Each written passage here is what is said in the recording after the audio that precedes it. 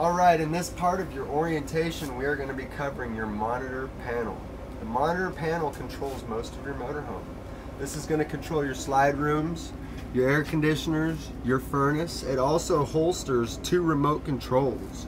You have a remote control for a fantastic vent in the ceiling above the kitchen, and you also have this nifty little remote control here that covers your slide rooms and your porch light. If you ever notice that your porch light is on, this button on the remote control actually overrides the switch at the entry door. So if you can't shut your porch light off with the switch at your entry door, you might want to go to your remote control, press that button one time, and then go back to your porch light switch and turn it off and see if that gets you through it. Other than that, you're going to press zero four times to enter the controls of the remote. You have lights, generator, awnings, and then slide rooms and a second awning. It says awning too. That's actually the rear awning over the deck of your garage. You can run both of your slide rooms in and out. So if you're in a tight space and you're not sure if your slide room is going to make contact with something like a tree or something, you can come grab your nifty remote control, walk outside and watch the slide room go in and out as you have the remote in your hand.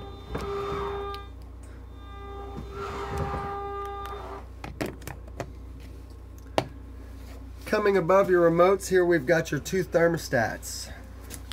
They both correspond with the air conditioners on the roof. The front thermostat will cover the front air conditioner. The rear thermostat will cover the rear air conditioner. You have an on-off mode button. This button is actually how you control all the features on your thermostat. Fan mode is a very important feature to understand.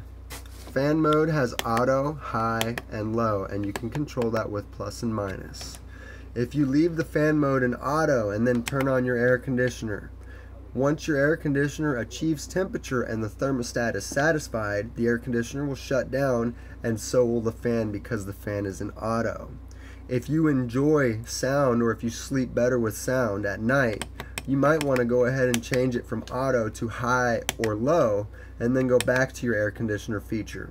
Once the thermostat is satisfied and it shuts down the air conditioner, the fan will continue to run as long as you have the fan mode in high or low. Once you're ready to use the furnace, you just go down to furnace and select the desired temperature and that's all that's necessary. Now the rear thermostat does not control a furnace. You only have one furnace on this unit. So I want you to understand that this only does the rear air conditioner and the rear fan for the rear air conditioner. Directly above your thermostats here, we actually have your true monitor panel. This is where you're going to read the levels of all of your tanks. You have an LPG, which is liquid propane gas. You have a battery button. As long as you are driving or plugged in or your generator is on, your batteries are going to read full. If you ever want to get an accurate reading on your batteries, turn everything off, turn the battery disconnect off that we covered earlier, give it one hour, and then turn your disconnect on and come in and press this and that will tell you what the state of your batteries are. You have a fresh tank level sensor. This is for your onboard freshwater holding tank that we covered outside through your gravity fill. The black tank is your sewage tank. And then the gray tank here is your sinks and showers. Next to that, we have your generator start-stop feature again with an hour meter. As long as the generator is running, it will tell you how many hours are, have been applied to the generator, basically how many hours it's ran for. You want to service the generator at every 150 hour increment.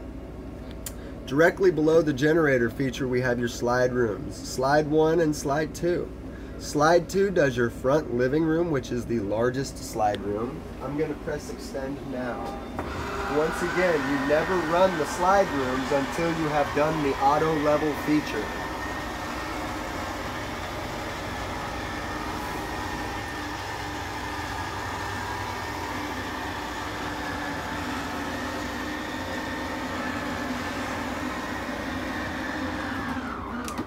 All right. Now I'm going to go ahead and run the next slide. This is for your bedroom.